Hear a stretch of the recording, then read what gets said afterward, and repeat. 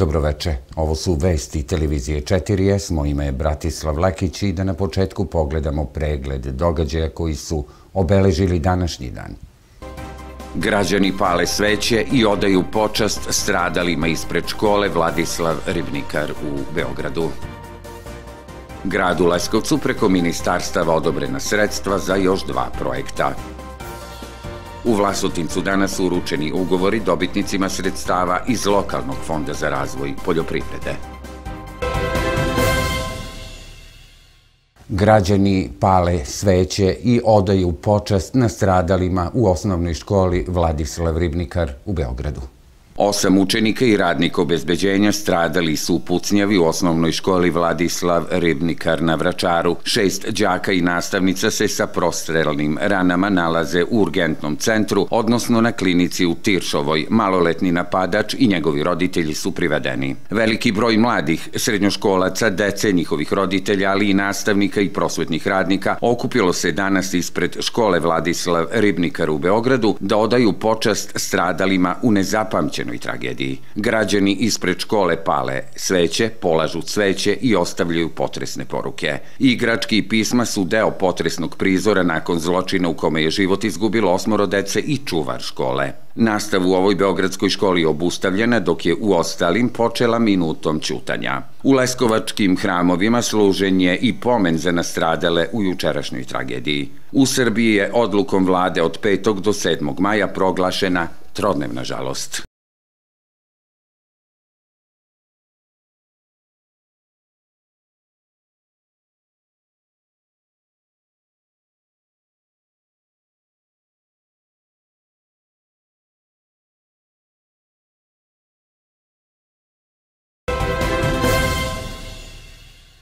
Ministarstvo unutrašnjih poslova uputilo apel vlasnicima oružja da isto drže zaključeno i savesno.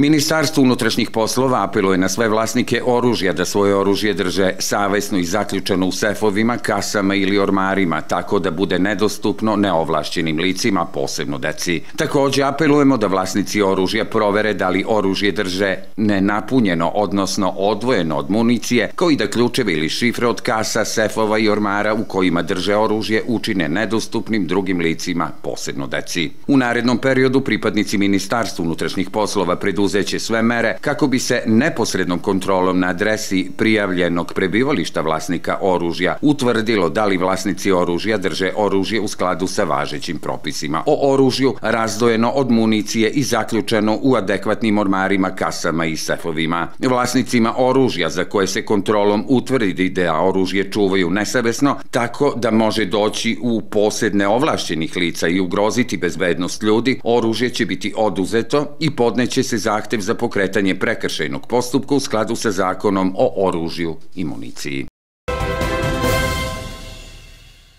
Gradu Leskovcu preko ministarstava odobrena su sredstva za realizaciju još dva projekta – Danas je u Ministarstvu turizma i omladine potpisan ugovor o sufinansiranju projekta rekonstrukcija montažnog klizališta u Leskovcu u iznosu od 7 miliona dinara. Ugovor je u ime gradonačelnika Leskovca Gorana Cvetanovića potpisala Sanja Milošević, član gradskog veća. Pored toga, juče je u Malom zvorniku ministar državne uprave i lokalne samouprave, dr. Aleksandar Martinović, potpisao ugovor između ostalog i sa predstavnikom grada Leskovca, Đorđem Stankovićem, rukovodiocem grupe za upravljanjem projektima u Odeljenju za društvene delatnosti gradske uprave, o dodeli sredstava iz fonda za funkcionalno organizacione modele, a u cilju dalje modernizacije rada odabranih lokalnih samouprava. Za projekat reorganizacijom do efikasnije uprave grada Leskovca lokalne samoupravi su dodeljena sredstva u iznosu od 26.855 švajcarskih franaka za obezbeđivanje adekvatne stručne podrške i nabavku neophodne opreme. Cilj projekta je obezbeđivanje savremenije koncepta pružanja usluga. Svečanom potpisivanju ugovora u Malom zvorniku prisustovao je i ambasador Švajcarske konfederacije u Srbiji Urs Schmidt. Fond za funkcionalno organizacione modele u okviru projekta Lokalna samouprava za 21. vek uspostavljen je u saradnji sa stalnom konferencijom gradova i opština. U Vlasotincu danas uručeni ugovori o dodeli sredstava iz lokalnog fonda za razvoj poljoprivrede.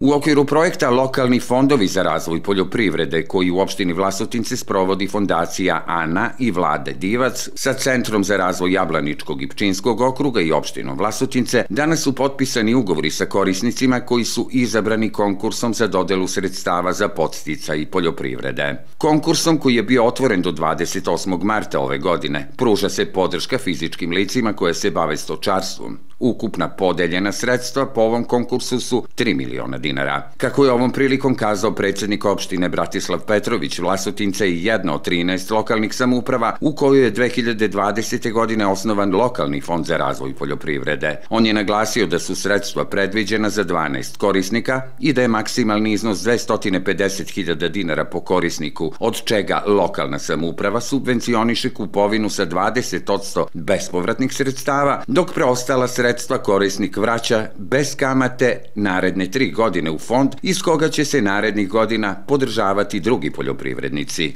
Velikom je zadovoljstvo što smo veoma brzo prošli put od e, ideje do realizacije jednog po mom ubeđenju veoma sjajne ideje da preko lokalnog fonda za razvoj poljoprivrede podržimo naše poljoprivredne proizvođače mimo svih subvencija koje dodeljuje opština.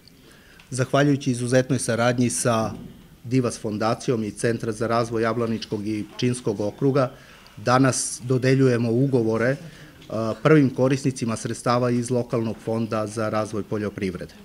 U njemu je opredeljeno 3 miliona dinara i ove godine smo isključivo namenili sredstva za razvoj stočarstva kao jedno od najugroženijih grana poljoprivrede.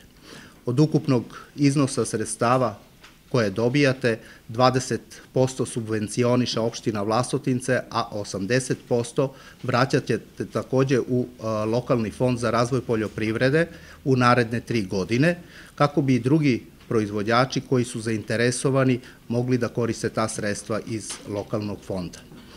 Opredeljenje opštine Vlasotince da ovaj, u narednom, je da u narednom periodu uh, ovaj fond nastavi da živi, da se stalno uvećava, jer kao što vam je poznato, više od polovine teritorije opštine Vlasotince čini poljoprivredno zemljište i on, ono je zapravo za nas jedan veoma važan resurs. Kako istakla direktorka Centra za razvoj Jablaničkog i Pčinskog okruga Dragana Belenzada, opština Vlasotince može poslužiti kao dobar primer i ostalim lokalnim samoupravama jer podstiče razvoj poljoprivrede, u ovom slučaju stočarstva. Kao subjekti regionalnog razvoja mi prepoznajemo potencijal i značaj Jablaničkog i Pčinskog okruga i svake lokalne samouprave, iako nam se podr, e, jako nam se dopala ova ideja kako je lokalna samouprava targetirala ciljnu grupu koja u ranim projektima nije imala mogućnost da učestvuje i da dobije bespovratna finansijska sredstva i pozemicu.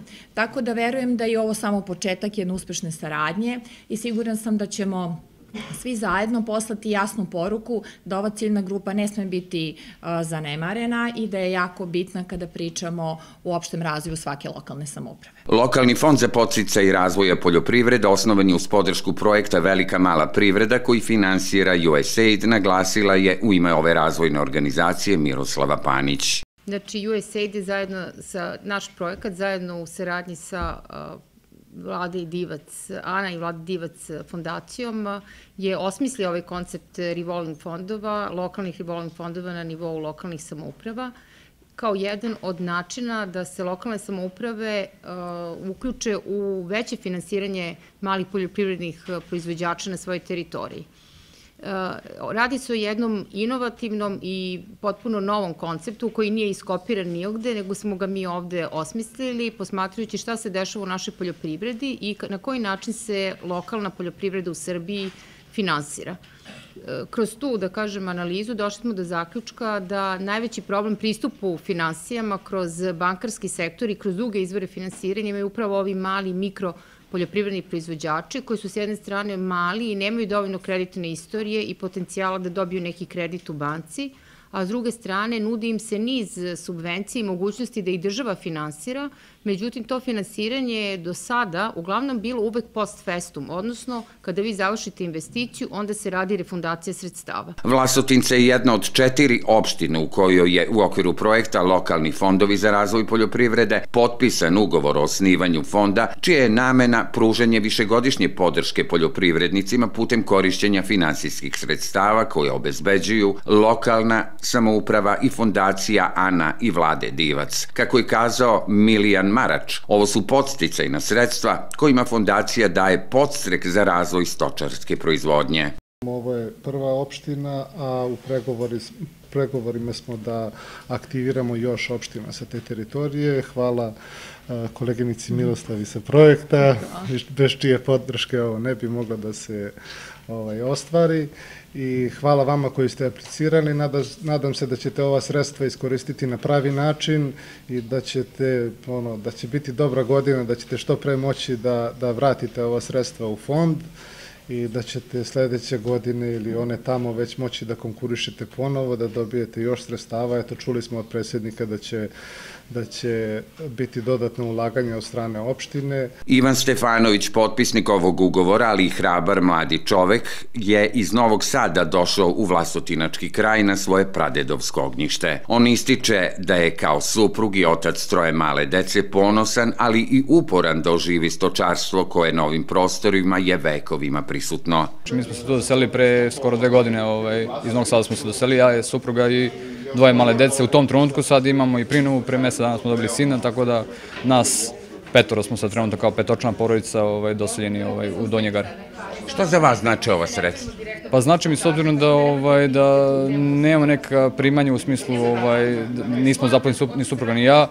Ovo nam znači zato što je to neka prekretnica da možeš da da da ovaj uh, uložiš sredstva u u stoku, nemamo neke ovaj troškove tamo, ali opet ovo znači jer ipak želimo da povećamo taj ovaj životinski fond ovaj da možemo da se bavimo stočarstvom jer imamo uslove za to. Šta vas je motivisalo da iz Novog Sada dođete na svoju pradedovinu?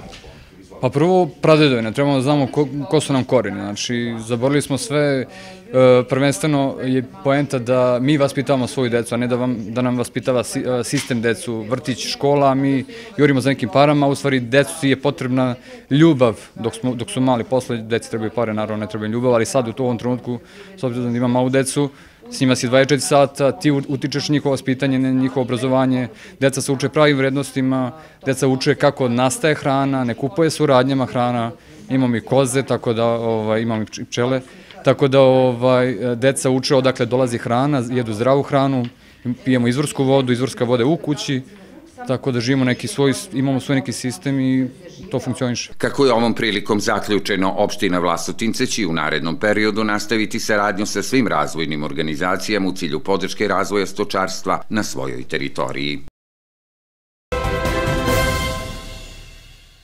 Narednih dana očekuje nas nestabilno vreme, kažu meteorolozi. Sutra promenljivo oblačno i toplo sa sunčanim intervalima, lokalni pljuskovi i grmljavine očekuju se u centralnim predelima zemlje. Vetar slab, promenljivog pravca. Najniža dnevna temperatura od 6 do 12, najviša dnevna od 20 do 24 stepena. U subotu pretežno sunčano i toplo u većini krajeva. Vetar slab, umeren istočni. Najniža temperatura od 6 do 12, najviša dnevna od 22 do 25 stepeni. U nedelju promenljivo oblačno, ponegde sa lokalnom grmljavinom, kišom uz kratkotrajne pljuskove. Maksimalna dnevna temperatura u rasponu od 22 do 25 stepeni. Na kraju vesti još jednom podsjećanje na najvažnije događaje dana. Građani pale sveće i odaju počast stradalima ispred škole Vladislav Ribnikar u Beogradu. Gradu Leskovcu preko ministarstava odobrena sredstva za još dva projekta. U Vlasotincu danas su uručeni ugovori dobitnicima sredstava iz lokalnog fonda za razvoj poljoprivrede. Pratili ste vesti televizije 4S. Hvala na pažnji.